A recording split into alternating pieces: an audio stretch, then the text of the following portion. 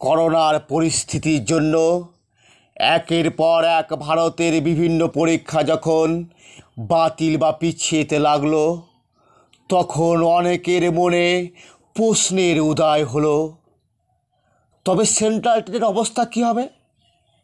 Central টেটও কি পিছিয়ে যাবে না বাতিল হবে? অবশেষে সব জল্পনা কল্পনার অবসান ঘটল। গতকাল পঁচিশে জুন, বৃহস্পতিবার সেন্ট্রাল টেট পরীক্ষাও স্থগিত করল কেন্দ্র, যা গতকাল ওয়েট নিউজে প্রকাশিত হয়েছে। সেন্ট্রাল টেট হওয়ার কথা ছিল আগামী পাঁচই জুলাই।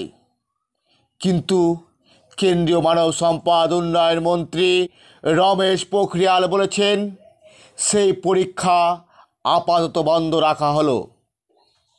তিনি আরও বলেছেন, ভারতে করোনার হার ক্রমশ যেভাবে বৃদ্ধি পাচ্ছে, তাতে সামাজিক দূরত্ববিধি মেনে পরীক্ষা নেওয়া অসম্ভব।